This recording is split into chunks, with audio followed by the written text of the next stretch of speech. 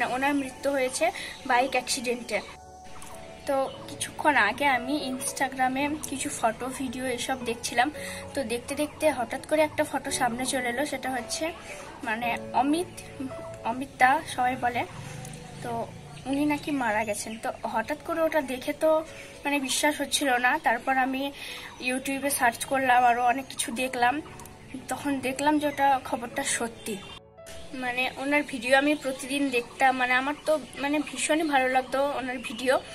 তো খুবই খারাপ লাগছে মানে ওনার মৃত্যু হয়েছে বাইক অ্যাক্সিডেন্টে তো মানে উনি কয়েকদিন আগে বাইক কিনেছে বাইক আইফোন আরও অনেক কিছু কিনেছে।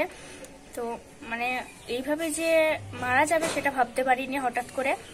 মানে ভীষণই খারাপ লাগছে। তো তোমাদের সবাইকে একটাই রিকোয়েস্ট যে গাড়ি আসতে চালাও তোমরা সব। আর সব থেকে বেশি খারাপ লাগছে ওনার মা বাবার জন্য। উনি যেখানেই গেছে, না ফেরার দেশে চলে গেছে, উনি সেখানে ভালো থাকুক, এটাই কামনা করি। আর একটা কথা, ভিডিওটা তোমাদেরকে লাইক করতে হবে না, কিন্তু তোমরা প্লিজ ভিডিওটাকে শেয়ার করো, কারণ মানে তার অনেকেই ফ্যান ফলোয়ার হয়তো জানে না যে উনি মারা গেছেন, সেই জন্যই বলছি তোমাদেরকে ভিডিওটা লাইক করতে হবে না, তোমরা শুধু শেয়ার করে দাও যে তারা সবাই জানুক, আর তারা সবাই তার আত্মার শান্তি কামনা করুক।